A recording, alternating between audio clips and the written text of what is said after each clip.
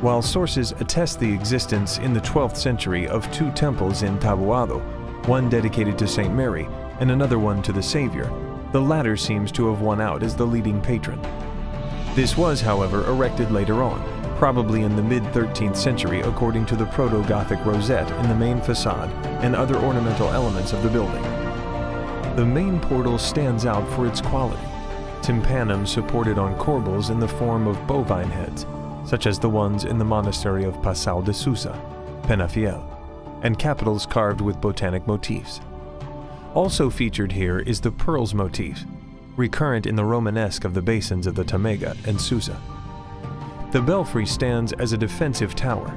In the body of the nave and at the level of the cross arch, two buttresses remain, which accentuate the volumetrics of the church.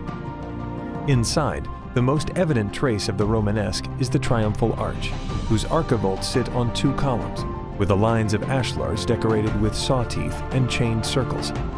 Their capitals result from a contemporary arrangement.